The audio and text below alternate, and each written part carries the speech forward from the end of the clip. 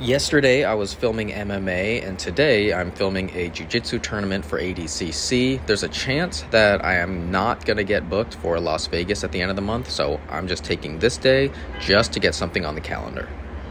Know, the process is lifestyle. It's just like I don't do it just for the competition. When people are talking about run and gun, this is the exact situation that they are referring to. I don't have any lighting. I just have to work with what's available, try to create shadow, try to find pockets of light. I have set my camera up to give me the best chance of success so that I'm not fiddling with it or tightening things or using my mental capacity to fixate on the camera rather than the action in front of me. I can just freely flow and move to what is most important, what needs to be recorded. I love these types of doc jobs because my two characters are over there, the athlete and the coach. The coach is mic'd, the athlete is not, obviously, but I'm just following them throughout this tournament. There are matches going on all day, and it looks like our athlete is going to the finals, but I just kind of am just getting that inside, looking for the small moments as they go throughout their day. And one of the parts that I really, really like is when an actual scene happens. Like I see a story arc happen throughout a scene with multiple characters. And then once I get that, right after it finishes, I need to think of, do I need any more pickup shots, establishing shots, anything to give more context of what happened during that scene.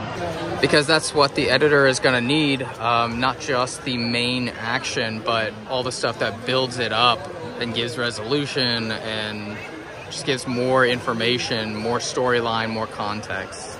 So the, the more I do these doc jobs, the more I'm trying to train my brain to think in scenes and not just have the camera rolling at all times without any any like definitive moments.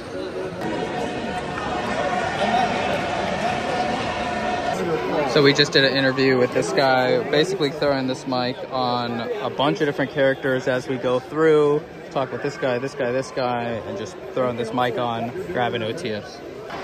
Good news, the Kondor Blue monitor mount is holding its tension really well. I had to tighten it a bit.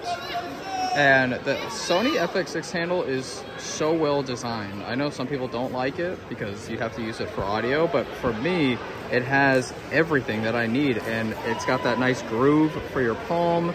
It's got all these electronic functions, the hot shoe for the mics, XLR holder, mounting points.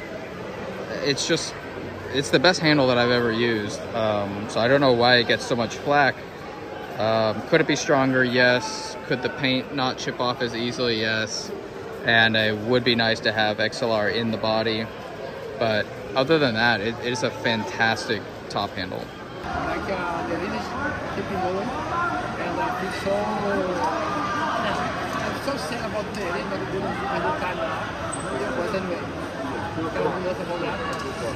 I'm so I was The joys of buying food while on site. 14 bucks. By the way, when I did that New York ESPN job, I walked so much and was literally limping at the end. I self-diagnosed myself with plantar fasciitis, maybe. Um, and it's still been coming every now and then, but I'm just trying to stretch my calves. That's what I've heard is the fix. And it's definitely much more manageable now. So if anybody has any plantar tips, let me know. I'm not the most familiar with these tentacles, but I do use them from time to time. And when I do use them, they go into the timecode BNC port. So using a normal XLR is a little different. I'm figuring it out as I go. I had to use the Tentacle app on this phone to um, sync them up. And then I put it into channel two and you have to put it on line. So you put it on line, I think, and I put it down to channel four. That way, when I'm monitoring channel channel one and two in my earphones, I don't hear the. If you ever heard what timecode sounds like, it's it's like extremely loud robot chatter. So I need to put that on a channel that I'm not monitoring. I think this is right. I also don't know for sure. I'm just figuring it out myself. I'd rather just use it in the timecode port. As much as I love the idea of that new 7 Artisans lens, the 24 to 96, which with the extender on full frame, it's basically 35 to 150. As much as I love that with the the geared housing and the aperture ring and its parfocal and the lens doesn't extend, which are all things that you've heard me complain about. Besides all that, I really, really do like having autofocus just to make my life easier. When I'm doing these OTFs, we've done about 15 of them today, and I can just flick on the autofocus switch. It's already in face only, not face priority, face only. And then when I can register the person's face, it does not leave them. There's no chance of it switching off. It's really nice to have when the people are just slightly moving in and out, left and right, and the focus, I would be chasing it the whole time. If the Sony 28 to 135 came out with a Mark II, I really think it would hit almost everything on my checklist. Hoping. Don't judge the quality resolution of this. This is a screen recording of a IG story that I reshared.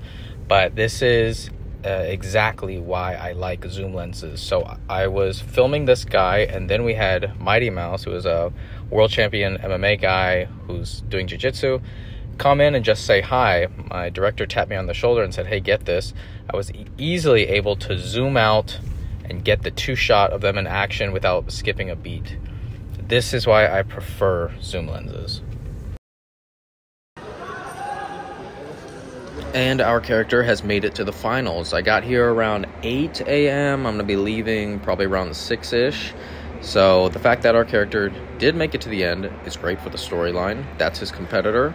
And like I said, when I'm thinking in scenes, I'm trying to think of what can I also get for the editor to cut to. This is Sam on his camera. He's got a, I think an 85 Sigma Prime. So he's just grabbing some cool shots and we're splitting it up like we did in New Jersey. That was also his production. I will be on gameplay and then he will be fixated on the coach. That way we can get all of the reactions and have both to play off of. So the character did win, and the tournament continues. It's almost done. I don't know how this is going to get chopped up, but I I know my job is to capture the story as good as possible. Right? That that's all I can do, and I want to deliver the best that I can. So those small moments that I mentioned, or the when I see people getting passionate, that's what I really need to tune into, or else the day is kind of boring. And like always, transferring cards right at the end. There was an option that he said I could upload a Dropbox. I would much rather just hand it off. He has it, and we're just we're done. We can handshake, and, and everything is clean. I love it when an opportunity comes your way, but you end up making it work for you. So this listing came up in Production Hub. It's five days of PA work, and since I've been on a PA kick lately, I said why not just go for it, put something on the calendar? So I hit them up and I said, um, I didn't even know that utility meant an assistant, but since I've been working for a traditional broadcast like ESPN, that's what they call an assistant. So I said, hey, I'd be happy to be a utility. I also do cam op work for ESPN. That's a huge statement. And if you need a cam op or there's a need for it in the future, let me know. They said, great, immediately we'll book you for the five days of utility, add a sixth day to that, and we will put you in our vendor list as utility slash cam op. So I like it when you could just kind of reshape the parameters of what they're asking. It doesn't hurt to, to give more information. You definitely don't want to be that guy who's like, I'm a director and I'm humbling myself to be a lower position for your production. You don't want to go that route, but I have found if you just provide a little bit more information, at least they know. I've been the, the drone guy before, and they go, oh, do you actually like shoot other stuff? And I'm like, yeah, I shoot all the stuff. And they didn't know. There's a bunch of crows crowing. I don't know why. Um, but I just needed to get something on the calendar. And the next month, April, is packed. I'm going to go to Dallas for the solar eclipse and then I have one week of surfing in Costa Rica and then come back to do San Francisco. I am going to do a meetup there. I'll put the details there soon. And then at the end of the month is West Palm again. So that West Palm client is kind of becoming a repeat, and I think they want to do retainer clients. So I got to figure out that schedule with them. But now I have six more days of work on the schedule, and I'm and I'm not going to say the price because they asked me what's your rate because they're still still sourcing crew, and I don't want to ruin that for them. But I'm happy with what I got.